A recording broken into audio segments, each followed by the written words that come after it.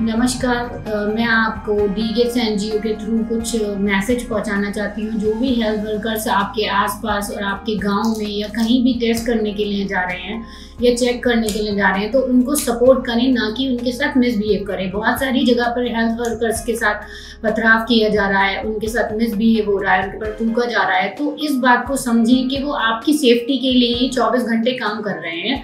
और अपने घर से दूर रहकर, अपनी जान की बिना परवाह किए आप लोगों के लिए वर्क कर तो इस बात को समझें कोरोना वायरस को लाइटली ना लें। ये एक बहुत ही गंभीर बीमारी है, जिसका अभी तक कोई इलाज नहीं है। इसका इलाज सिर्फ़ इतना ही है कि आप लोग कॉपरेट करें सोशल डिस्टेंसिंग बनाए रखें हेल्थ वर्कर्स को कॉपरेट करें और हमारे पुलिस डिपार्टमेंट को कॉपरेट करें।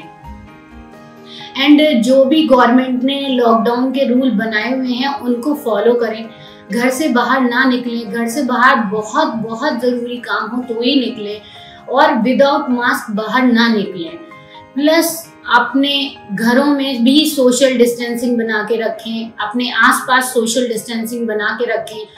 Stay home stay safe thank you जय हिंद।